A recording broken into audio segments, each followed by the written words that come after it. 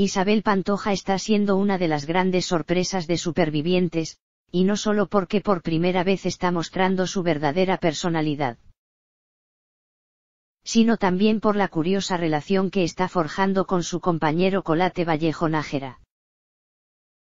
Entre la cantante y el empresario, que es un conquistador nato, ha surgido una chispa que, para muchas personas, podría dar lugar a un romance.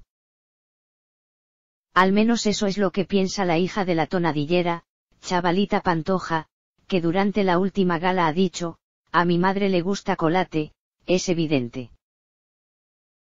Pero mientras que ella parece tenerlo muy claro, la hermana del ex de Paulina Rubio, Samantha Vallejo Nájera, se ha mostrado más escéptica al respecto.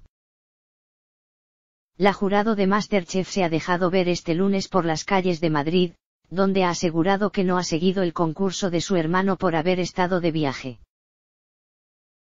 Eso sí, no ha dudado en opinar sobre la mejor noche que han pasado Isabel y Colate de todo el concurso, en la que compartieron cama, será por el colchón, ha dicho.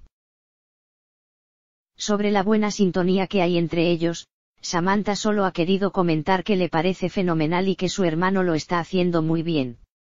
Está haciendo supervivencia que es a lo que ha ido y ya está. Tampoco se ha mojado sobre si cree que a Colate le gusta la pantoja aunque, de ser así, tiene claro que la cuidará como cuida a las mujeres y ya está. Tampoco quiero ir más allá y avanzar cosas que todavía no ha pasado y es que su reacción ante una posible historia de amor entre Colate e Isabel es poner cara de sorpresa y quejarse de la pregunta, ¿qué preguntas, madre mía?